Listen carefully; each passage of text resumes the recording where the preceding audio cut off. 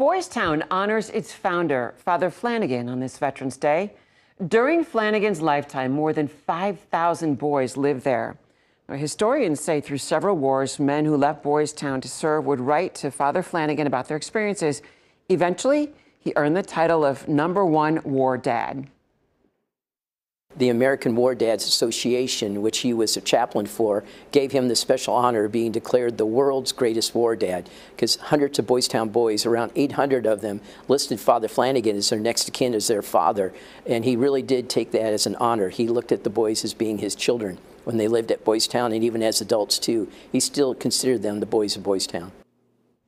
If you'd like to learn more about Father Flanagan's legacy as well as stories of war heroes who called the place home, you can visit the memorial on the Boys Town campus.